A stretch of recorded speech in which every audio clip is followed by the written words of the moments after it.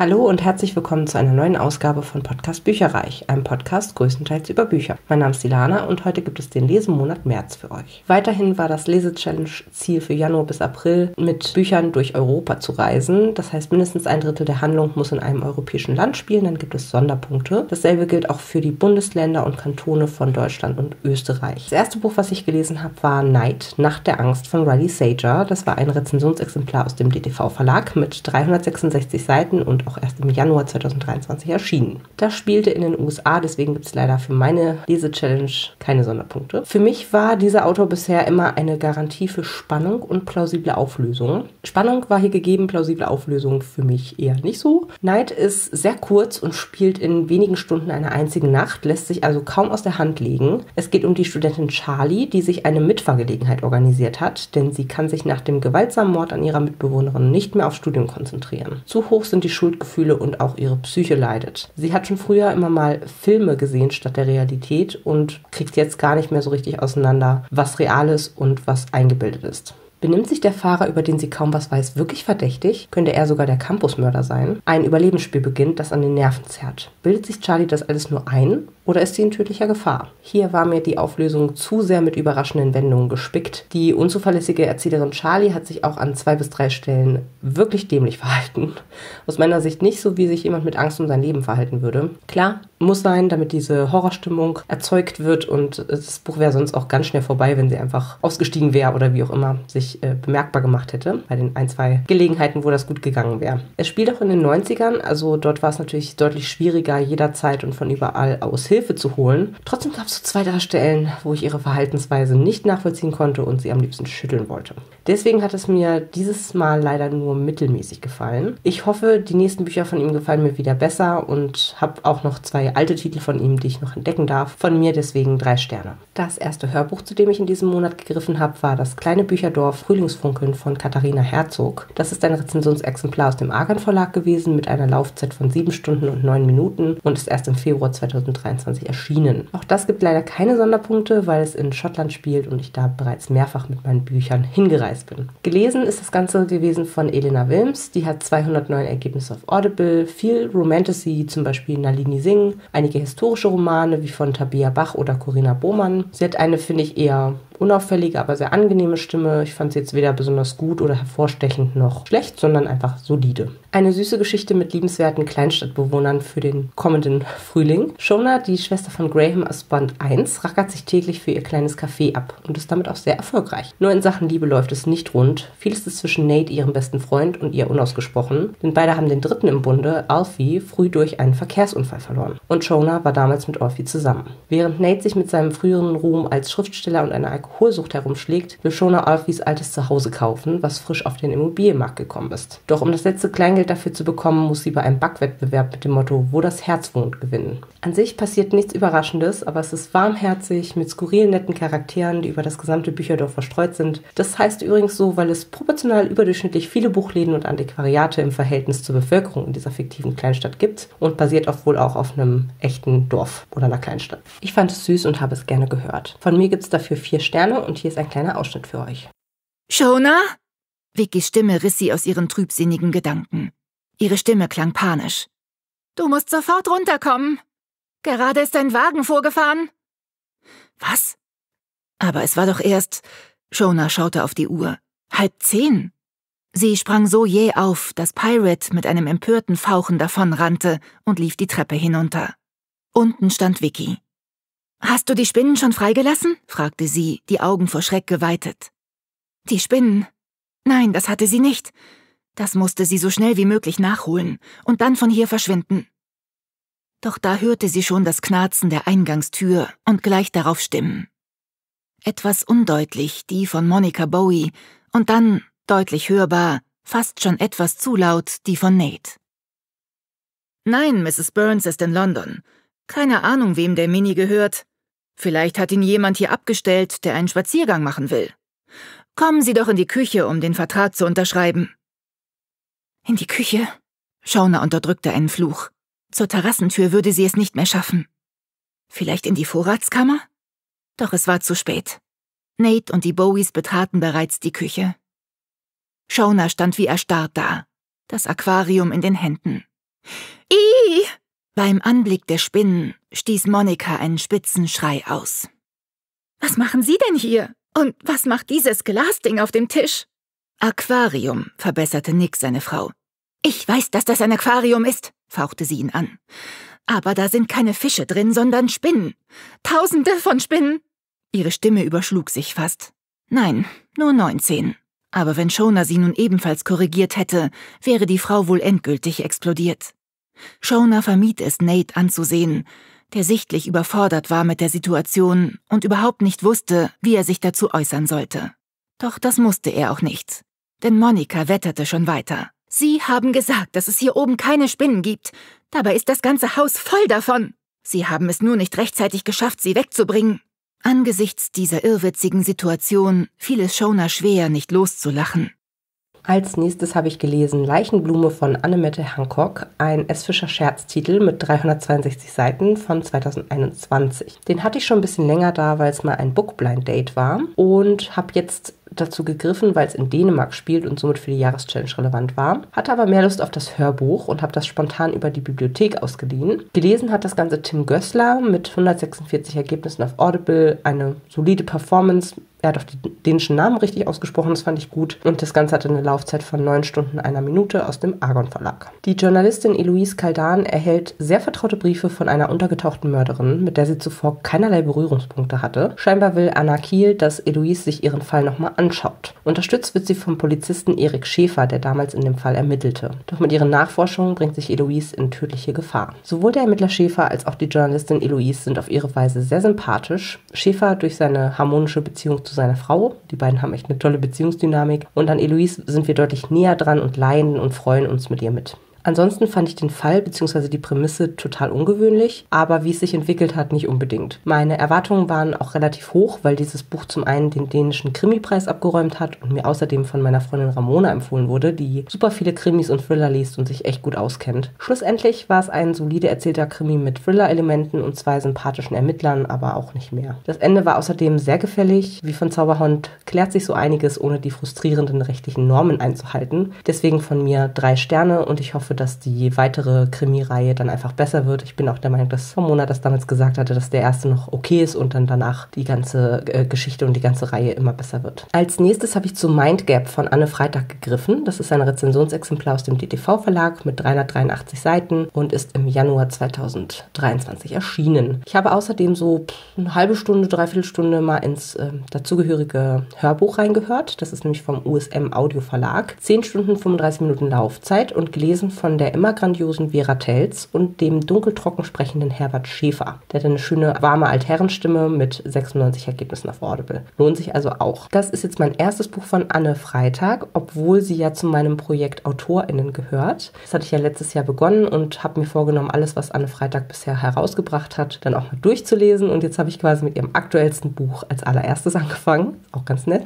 Und das Buch spielt schon wieder in Berlin, deswegen kann ich es leider nicht zusätzlich in die Jahreschallenge eintragen, denn Berlin hatte ich jetzt schon im Februar abgedeckt. Ein Buch, das unterhaltsam ist und so spannend, dass man ständig wissen möchte, wie es weitergeht. Gleichzeitig darf man den Kopf dabei aber nicht ausschalten, sondern muss aufmerksam folgen. Also Unterhaltung mit Anspruch, so würde ich es mal betiteln. Es ist eine Dystopie, die elf Jahre in der Zukunft spielt. Dort gibt es ein Implantat fürs Gehirn namens Nink, mit dem man ständig vernetzt ist und diverse Sprachen ad hoc lernen kann. Es geht um eine Politikerin, die kurz davor steht, die neue Bundeskanzlerin zu werden, aber das ist nicht das Ende ihrer Ambitionen. Sie möchte in den Vereinigten Staaten von Europa noch weiter aufsteigen. Früher war sie im Verteidigungsausschuss und hat damals auch die geheime Militärorganisation ESEC ins Leben gerufen. Nun ist einer der ehemaligen Soldaten zwei Jahre nach seinem fingierten Tod Amok gelaufen und hat ihren Gegenkandidaten für die Kanzlerkandidatur erschossen, seine Freundin und anschließend sich selbst. Außerdem lesen wir aus der Perspektive der Schwester des Soldaten, Sylvie, die noch kurz vor seinem angeblichen Selbstmord mit ihm telefoniert hat. Er wollte ihr etwas Wichtiges erzählen und hatte Todesangst. Sylvie glaubt nicht an einen Selbstmord und die angebliche Paranoia ihres Bruders und da sie Investigativjournalistin ist, fängt sie an zu recherchieren. Der dritte Erzählstrang dreht sich um Mayari, die in Manila sechs Tage die Woche schuftet und kontrolliert, welche anstößigen Inhalte aus dem Netz genommen werden sollten. Als sie illegale Schmerzmittel nimmt, funktioniert ihr Link nicht mehr richtig und sie sieht einiges klarer, was in ihrer Fabrik stattfindet. Eine gefährliche Wahrheit kristallisiert sich heraus. Es waren kurze, spannende Kapitel, durch die ich nur so durchgerauscht bin. Tolle Sci-Fi mit Gedankenspielen rund um neue Technologie und deren Auswirkungen auch auf uns Menschen. Neben guten Absichten gibt es nun mal immer wieder Menschen, die nach Macht, Geld oder Ruhm streben und dafür dafür über Leichen gehen. Und einfach zu kontrollierende Menschenmassen bedeuten eine ganze Menge Macht. Es war, wie gesagt, mein erstes Buch der Autorin und ich fand, es war ein vielversprechender Auftakt für das Projekt AutorInnen. Ich fand den Schreibstil sehr gut und das Buch hat, wie gesagt, eine gute Unterhaltung geliefert mit Tiefgang. Von mir vier Sterne.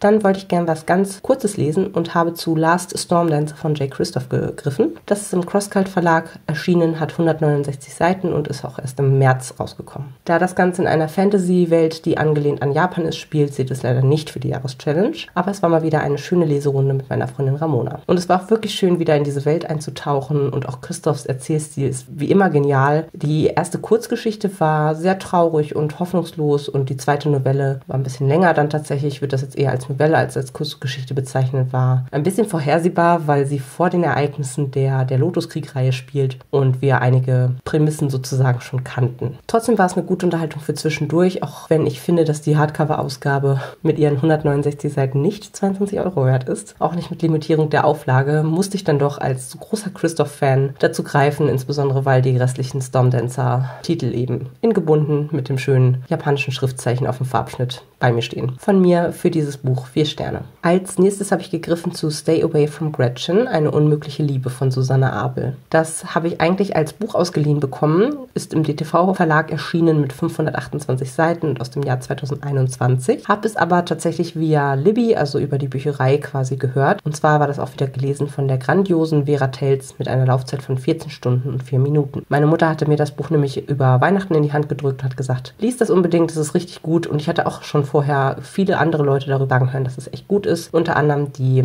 Kollegen quasi von Eat, Read, Sleep, dem NDR-Bücher-Podcast. Und für die Jahreschallenge konnte ich es auch einsetzen, denn es spielt in Köln und damit habe ich dann das Bundesland NRW abgedeckt. Es geht um Greta, eine 84-Jährige, die Demenz bekommt und um ihren Sohn Tom, einen bekannten 45-jährigen TV-Moderator, der zu Beginn ein ganz schöner Kurzbrocken ist und der nun mit der Aufgabe konfrontiert ist, sich um seine Mutter kümmern zu müssen und gleichzeitig seine Karriere nicht aufs Spiel zu setzen. Mal ganz nebenbei, was, was Frauen tagtäglich leisten und dafür im Berufsleben zurückstecken. In Rückblenden erfahren wir mehr über Gretas Kindheit in Nazi-Ostpreußen und als Jugendliche in der Stunde Null. Wie sie fliehen musste, die Wut der Russen, die harten Jahre mit dem Handel auf dem Schwarzmarkt und schließlich Gretas erste große, aber tragische Liebe, ein schwarzer US-Soldat und was sie gemeinsam durchgestanden haben. Ich habe Greta dabei sehr ins Herz geschlossen mit ihrer mutigen, draufgängerischen Art und ihrem starken Willen. Das hat mich auch ein bisschen an meine eigene Oma erinnert. In der Gegenwart tut Tom sich mehr als schwer, die Gefühlsschwankungen seiner Mutter mit seinem glamourösen Leben in Einklang zu bringen. Er macht als Charakter aber auch eine, wenn nur kleine Entwicklung durch. Ich muss aber sagen, so richtig warm bin ich mit ihm bis zum Schluss nicht geworden. Die Rückblenden mit Greta fand ich spannender als die Gegenwartsszenen, was aber sicherlich an der höheren Sympathie zu ihr lag.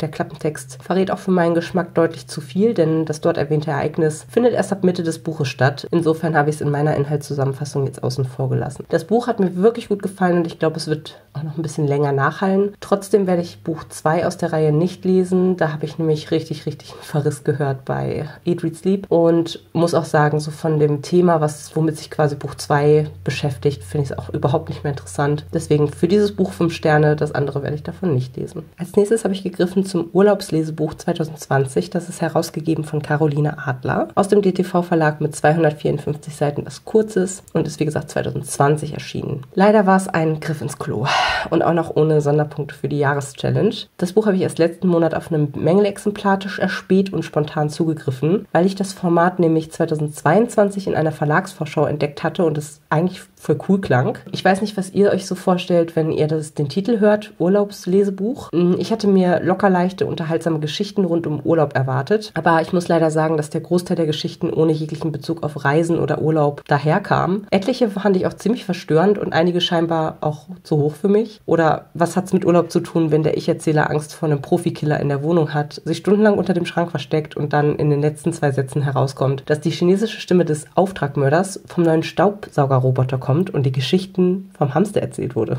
naja. Ähm, noch ein Beispiel von einer Geschichte, bei dem Urlaub wenigstens am Rande eine Rolle gespielt hat, aber die mich total verstört zurückgelassen hat. Da erzählt ein junger Mann davon, wie er die Haut an seinem Oberarm eingebüßt hat, weil er als Jugendlicher, statt sich in die Sonne zu legen, in ein Gartenhäuschen gegangen ist und dort gechillt hat. Und als das Häuschen dann eines Tages gebrannt hat, warum, wird nie aufgeklärt, reagiert der Junge nicht mal, weil er in seiner Fantasie gerade mit seiner Familie in der Wüste gestrandet ist. Hä?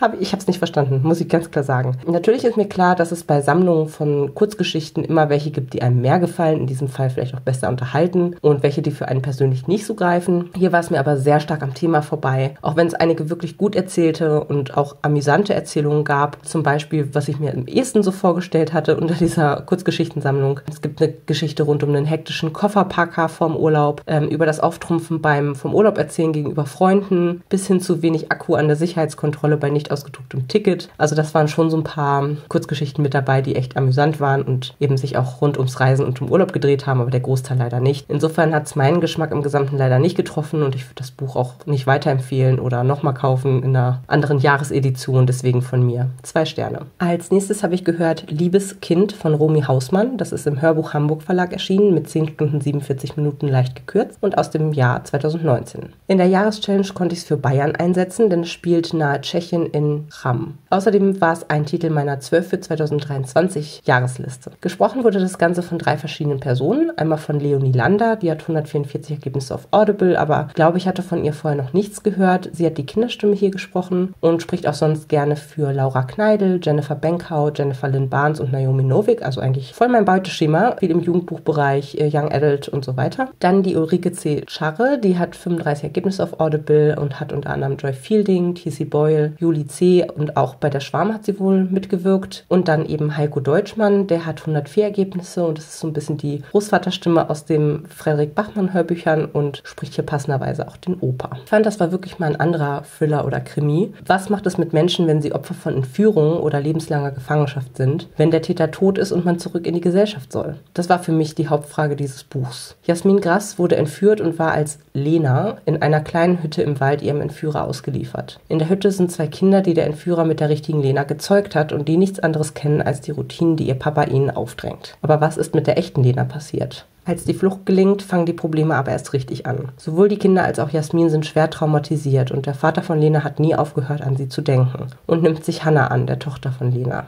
Das Hörbuch war dreigeteilt und mit verschiedenen Stimmen gesprochen. Großvater Matthias, dann Jasmin und Hannah. Und das hat sowohl gut Spannung reingebracht als auch eine emotionale Verbindung geschaffen. Nach und nach erfährt der Leser von den Abläufen und Schrecken, die in der Hütte entstanden sind und in die normale Welt auch transferiert werden. Man kann sich sehr gut in alle Charaktere einfühlen, auch wenn mir der Großvater mit seiner überstürzten Art eher unsympathisch war. Und man leidet und fiebert richtig doll mit. Das war echt mal was anderes und es hat mir richtig gut gefallen. Deswegen gibt es von mir vier Sterne. Neben den ganzen Büchern und Hörbüchern habe ich auch noch einige Folgen von Der Schwarm, was auf ZDF kommt, sowie Daisy Jones and the Six von Amazon Prime geschaut. Beides Literaturserienverfilmungen. Und ich muss sagen, bei Der Schwarm bin ich mir unsicher, ob ich weiter gucke, denn ich finde, ich meine, ich habe es jetzt erst im Dezember letzten Jahres, glaube ich, gelesen und entweder ist schon wieder so viel weg oder sie haben einfach super Unterschiede gemacht zwischen der Verfilmung und dem Original. Ich glaube eher letzteres, da kommen Personen drin vor, wo ich denke, ich glaube, die kenne ich gar nicht oder die hatten irgendwie im Buch ein ganz anderes Alter, ganz anderen Background, habe ich mir super anders vorgestellt. Die Geschehnisse, die da schon sofort losgehen, unterscheiden sich meines Wissens nach auch komplett vom Buch, also weiß ich nicht, was ich davon halten soll, muss ich sagen. Und Daisy Jones and the Six finde ich richtig gut umgesetzt, ist auch relativ nah am Original dran. Und was ich wirklich positiv finde, ist, dass man jetzt die Lieder, die ja in dem Buch eine große Rolle gespielt haben, auch wirklich mal hören kann. Das finde ich richtig toll. Gleichzeitig ist es mir fast schon ein bisschen langweilig, weil einfach die Folgen auch sehr lang sind, finde ich. Und wenn ich das richtig ähm, mitgeschnitten habe, sind die ersten zehn Folgen, also die Staffel 1 sozusagen, umspannen gar nicht das gesamte Buch. Und ja, also für 10 mal 45 Folgen, da hätte ich mir jetzt schon gewünscht, dass dann das gesamte Buch abgefiedelt ist. Aber man will ja Kohle machen. Und sowas nervt mich dann auf Dauer tatsächlich sehr. Dass dann nicht einfach eine Geschichte erzählt wird und gut ist, sondern dass man dann unbedingt noch eine Staffel 2 machen muss. Und ich finde auch, das äh, ist dann manchmal ein bisschen langatmig erzählt. Werde ich aber mit Sicherheit nach und nach die ersten äh, zehn Folgen äh, gucken. Ich habe jetzt, glaube ich, schon vier oder fünf davon geschaut. Dann bekommt ihr noch meine kleine Zusammenfassung der Seiten und der Anzahl der Bücher diesen Monat. Und zwar habe ich insgesamt 2878 Seiten oder Minuten gehört oder gelesen. Im bisherigen Jahresdurchschnitt von Januar und Februar war ich damit circa 30 Prozent unter dem bisherigen Durchschnitt von 4088 Seiten pro Monat. Sehr schade, aber ich glaube, das liegt auch daran, dass ich halt diesen Monat gar keine Graphic Novels gelesen habe und sowohl im Januar als auch im Februar hatte ich welche gelesen und da kann man ja in relativ kurzer Zeit relativ viele Seiten sich aufschreiben und daran liegt das mit Sicherheit. Insgesamt habe ich acht Bücher gelesen und zwar vier Bücher und vier Hörbücher, keine E-Books. Von meinen Lesevorhaben habe ich zwei Sachen umsetzen können. Das eine war ein Titel aus 12 für 2023, nämlich Liebeskind. Und das andere war Mindgap, was ja zum Projekt AutorInnen gehört. Ich habe weder Reihen weitergelesen noch Subsenioren vom Stapel erlöst. Was meine Subhöhe angeht, da bin ich leider wieder gewachsen. Ich habe bei den Büchern jetzt 118 ungelesene Bücher. Das sind insgesamt 10 mehr als im Vormonat. Ich habe zwar sechs gelesen, beziehungsweise drei davon waren quasi doppelt auf dem Sub, habe ich als Hörbücher gehört, aber konnte ich ja dann bei beiden Subs quasi runterschmeißen. Habe aber 16 Bücher hinzubekommen, größtenteils Reihenfortsetzungen, wo ich dann auch teilweise die ersten Bände noch nicht gelesen habe, aber unbedingt wissen wollte, wie es weitergeht. Spontan gekauft habe ich nämlich Emily Seymour 2, Zeitreisen für Fortgeschrittene von Jennifer Elise Jager, dann Firefall von Elise Kova und die letzte Erzählerin von Donna Barbara Igera. Dann habe ich eine Vorbestellung vom Buchmädchen entgegengenommen, Doppelt geliebt hält besser und auf dich war ich nicht vorbereitet von Annabelle. Dann habe ich äh, von der Bücherbüchse noch folgende Titel erhalten: A Magic Steeped in Poison von Judy E. Lynn, Emerald Witches 2 von Laura Labas, The American Roommate Experience Experiment von Elena Amers, Springstorm 2 von Marie Grashoff, The Witches of Silent Creek 2 von Isla Date, Wir sind die Ewigkeit von Kira Licht, The Love We Feel von Olivia Date und Claim the Stars Trilogie von Brandon Sanderson. Außerdem ist bei mir diesen Monat angekommen und wurde ja auch direkt inhaliert, war die Vorbestellung von Amazon von Der Lotuskrieg Last Storm Dancer von Jay Christoph. Bei den Hörbüchern bin ich jetzt bei 99 ungehörten Hörbüchern. Das ist insgesamt eins mehr als im Vormonat. Ich hatte nämlich fünf gehört, beziehungsweise eins davon war eben doppelt vorhanden bei Mindgap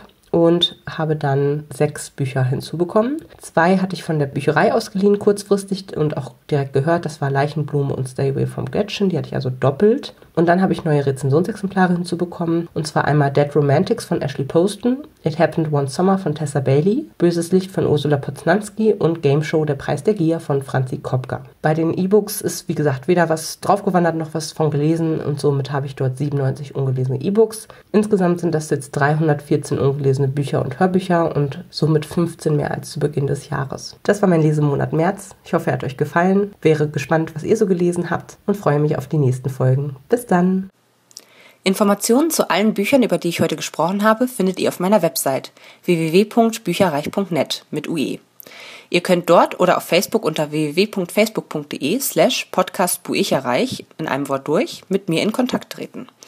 Meine E-Mail-Adresse lautet buicherreich at gmail.com. Wenn ihr diesen Podcast über iTunes abonniert habt, würde ich mich riesig freuen, wenn ihr mir eine 5-Sterne-Bewertung hinterlasst. Dies ist ein privater Buch-Podcast, in dem ich nur meine eigene private Meinung wiedergebe. Wenn mir ein Buch oder Hörbuch kostenlos zur Verfügung gestellt wird, kennzeichne ich es entsprechend auf meiner Website.